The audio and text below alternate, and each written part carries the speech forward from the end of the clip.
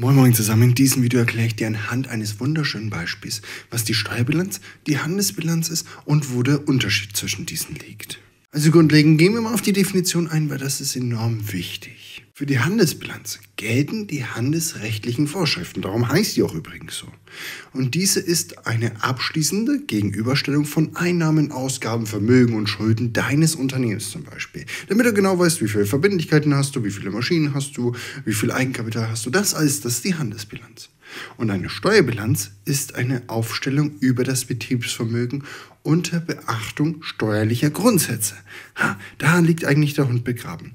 Für die Steuerbilanz gelten nämlich teilweise andere Vorschriften, die einen anderen Werteansatz erzwingen. Das nennt sich übrigens in der Fachsprache Durchbrechen der Maßgeblichkeit. Also, wir merken uns, Handelsbilanz, die ist dafür da, um die Gläubiger zu schützen um als Informationsquelle zu dienen für Externe. Die kannst du einsehen, die können wir alle online anschauen von zum Beispiel Mercedes oder Audi.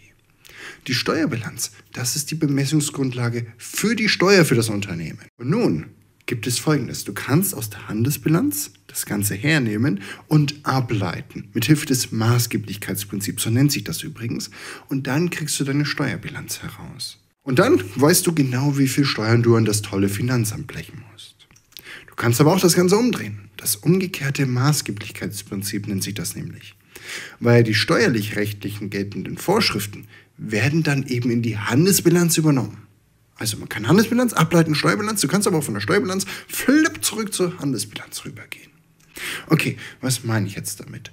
Die Handelsbilanz hat folgendes Ziel einen guten Eindruck auf die externen Adressaten, deine Aktionäre zu machen, indem wir ordentlich Gewinne ausweisen und zeigen, wie geil es beim Unternehmen läuft. Die Steuerbilanz, da habe ich ein anderes Ziel. Da möchte ich möglichst geringe Gewinne ausweisen, damit ich natürlich wenig Steuern zahlen muss und mehr Cash übrig bleibt. Bei der Handelsbilanz sind dann die folgenden Gesetzbücher relevant und bei der Steuerbilanz haben wir hier die aufgelistet. Also kommen wir doch mal zum Beispiel für Rechtsstellungen zum Beispiel. Gesonderte und einheitliche Fertigstellung von Besteuerungsgrundlagen für die Einkommensbesteuerung haben wir, da wollen wir eine Rücklage für bilden, weil das demnächst ansteht im Wert von 1900 Euro. Und dann haben wir auch noch Kosten für die freiwillige Jahresabschlusserstellung. 7500 Euro. In meiner Handelsbilanz, da ist das alles relevant. Diese Rückstellung bilde ich. In der Steuerbilanz ist das nicht erlaubt. Da darf ich diese Rückstellung nicht bilden zum Beispiel. Oder kommen wir zu einem anderen Beispiel. Nochmal Rückstellungen. Ich habe eine Drohverlustrückstellung in Höhe von 12.000 Euro. Weil eben irgendein Verlust reinkommt. Und ich kann den schon erwarten. Also bilde ich eine Rückstellung in der Handelsbilanz. Nee, in der Steuerbilanz darf ich das überhaupt nicht machen. Da merkst du, in der Handelsbilanz ist es als Rückstellung jetzt drin. Wenn ich aber meine Steuerbilanz aufstellen möchte, dann muss ich das wieder rausnehmen. Oder kommen wir zum nächsten Beispiel. Beim Abschreibungsaufwand. Ja, ich habe bei der Handelsbilanz lineare Abschreibung gehabt. Von 900 Euro für die Maschine zum Beispiel.